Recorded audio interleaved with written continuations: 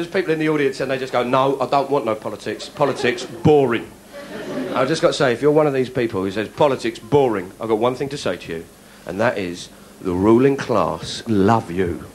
Yes, it is boring. You're absolutely right. No, leave it to us. We'll look after it. Go on, leave it to me. No, seriously, I'm behind you every inch of the way. You just stay exactly where you are. You rough piece of totty. Just stay there.